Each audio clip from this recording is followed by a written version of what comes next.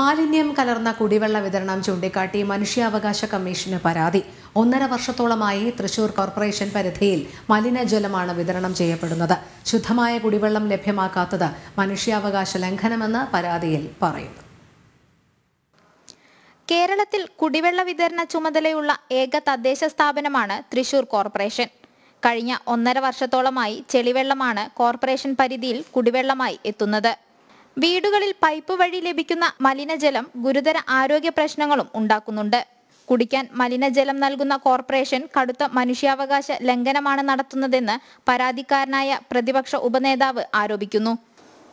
ഗുരുതരമായ ആരോഗ്യ പ്രശ്നങ്ങളാണ് കോർപ്പറേഷൻ ഇപ്പോൾ വിതരണം ചെയ്യുന്ന കുടിവെള്ളത്തിലുള്ളത്.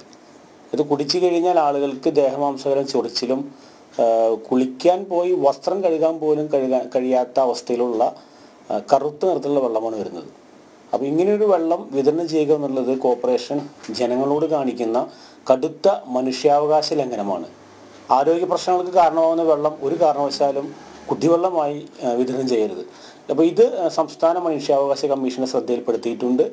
അതിന്റെ വെള്ളത്തിന്റെ വീഡിയോയും ഫോട്ടോസും മനുഷ്യാവകാശ കമ്മീഷൻ ഗൗരവ കാര്യത്തിന്റെ ഗൗരവം ബോധ്യപ്പെടുന്നതിന് വേണ്ടി വാട്സപ്പ് വഴിയും മെയിൽ വഴിയും അയച്ചു കൊടുത്തിട്ടുണ്ട്. തീർച്ചയായും മനുഷ്യാവകാശ കമ്മീഷന്റെ ഒരു ഇടപെടൽ ഈ വിഷയത്തിൽ ഉണ്ടാവുന്നത് തന്നെയാണ് ഞങ്ങളെല്ലാവരും.